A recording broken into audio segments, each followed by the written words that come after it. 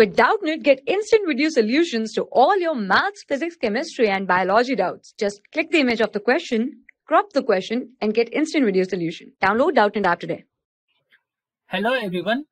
Let us start the question. The question says write the following sets in tabular form and also in descriptive form. x such that x is a square of a natural number. Here element is a square of natural number. So let us write the natural number 1, 2, 3, 4, 5 and so on. These are the natural number. These are the natural number. Now square of natural number square of natural number like square of 1 is 1, square of 2 is 4, square of 3 is 9, square of 4 is 16, square of 5 is 25 and so on. So here the required set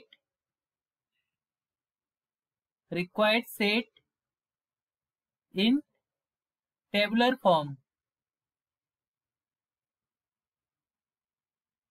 let us say A is the required set. So A is equal to 1, 4, 9, 16, 25 and so on. Now let us write in descriptive form.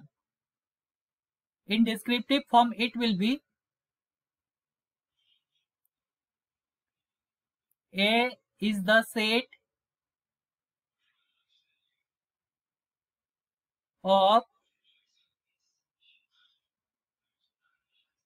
square